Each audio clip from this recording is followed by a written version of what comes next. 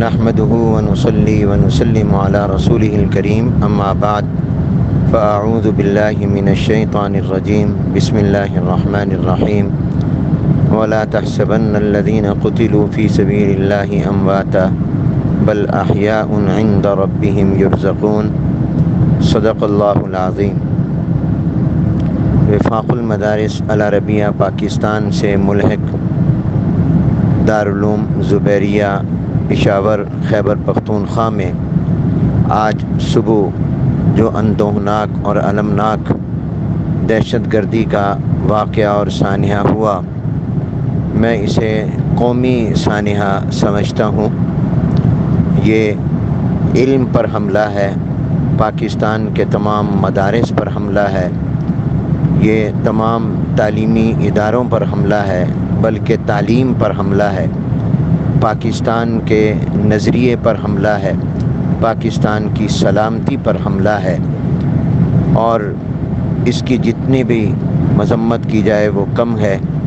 ऐसे दहशत गर्दों का इस्लाम से, दीन से, मुसलमानों से कोई ताल्लुक़ नहीं है, हो भी नहीं सकता। आज ये वाक़ और सानहा उस वक्त पेश आया, जब हदीस मुबारक का दर्स हो रहा था। रहमत आलम, हजूर अक्रम सल्लल्लाहु वसल्लम की अहादीस की तालीम हो रही थी। और ये बेगुनाह, बेकसूर, मासूम बच्चे कौम के नो नहाल और मुस्तबिल के मेमार और रहनुमा हजूर अक्रम सल्लल्लाहु वसल्लम की अहादीस मुबारक को पढ़ रहे थे। इनकी ज़बानों पर अलैहि वसल्लम आ रहा था। ऐसे वक्त में इनको शहीद कर दिया गया। और बारूद के ज़रिए धमाका करके तलबा को हमसे जुदा कर दिया गया। तकरीबन दस तलबा की शहादत की अब तक इतला आ चुकी है और बहुत बड़ी तादाद तलबा की ज़ख्मी है, जिनमें से बाज़ मौत हयात की कशमकश में है। इसलिए हम इस साने की मजम्मत भी करते हैं।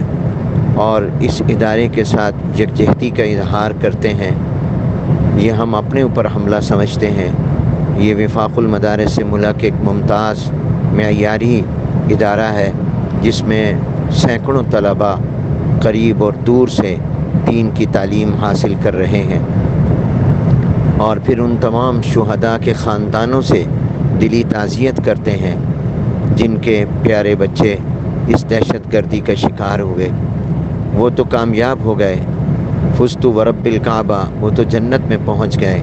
लेकिन हमें ऐसा गहरा ज़ख़म लगा गए और हमें ऐसा गहरा ज़ख़म लगा दिया दहशत गर्दों ने कि जो कभी भी मुंदमिल नहीं हो सकता। इसी तरह जो ज़ख्मी हैं, हम उनकी जल्द सेहत याबी के लिए दुआ गो हैं। उनके ख़ानदानों से भी यकजहती का इजहार करते हैं। और इन पाकिस्तान के तमाम दीनी मदारस व जामत में इन तलबा के लिए शहदा के लिए, ज़ख्मियों के लिए, ख़ानदानों के लिए कुरान करीम की तिलावत का अहतमाम होगा, दुआएँ होंगी इसाल सवाब किया जाएगा। और इसके साथ साथ मैं हकूमत से मुतालबा भी करता हूँ कि ये इसकी बरह रास्त ज़िम्मेदार हकूमत है। इसलिए कि उनके इल्म में था कि इस इदारे को धमकियाँ दी गई हैं। जो उस्ताद पढ़ा रहे थे, उनको धमकियाँ दी गई हैं, लेकिन कोई हिफाजती इंतज़ाम नहीं किए गए। और फिर इस आने के बाद जिस सर्द महरी और बेहिसी का अब तक मुजाहरा किया जा रहा है, वो भी इंतहाई काबिल मजम्मत है। हम उसको न सिर्फ़ ये कि मजम्मत करते हैं, बल्कि मजम्मत के अल्फाज को भी हम मामूली और हल्का इसमन में समझ रहे हैं। हम उनके रवैये को नफ़रत की नज़र से देखते हैं और उस रवैये की भी पुरजोर मजम्मत करते हैं। इसलिए कि ये भी कौम के बच्चे हैं। ये भी इल्म पर हमला है।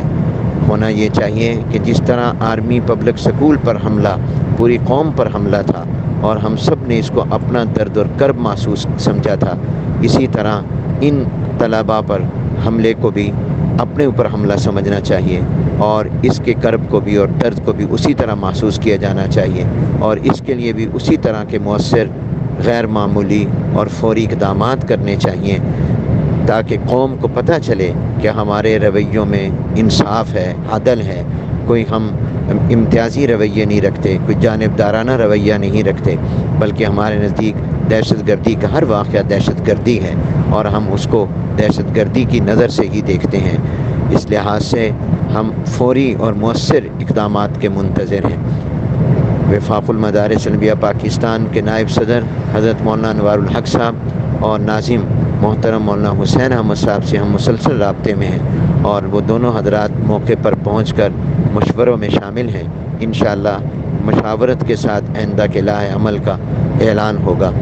लेकिन हम उम्मीद रखते हैं कि इस साने के हवाले से इसके तमाम महरक़ात इसबाब और अवामिल और पस पर्दा तमाम अनासर को और साजिश को न सिर्फ़ ये कि बेनकाब किया जाएगा, बल्कि जल्द अज जल्द मुजरमों को गिरफ़्तार करके उनको इबरतनाक सज़ा से दो चार किया जाएगा।